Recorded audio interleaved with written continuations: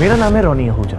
मैं एक software company में काम करता हूँ। मैं आपको शुरू से बताता हूँ। जब भी मैं किसी अपनी से बड़ी उम्र की लड़की को देखता हूँ ना तो उनके साथ करने की इच्छा होती है। और इस मेंटल हेल्थ की वजह से मेरा जीना मुश्किल हो गया। ओ, रॉनी?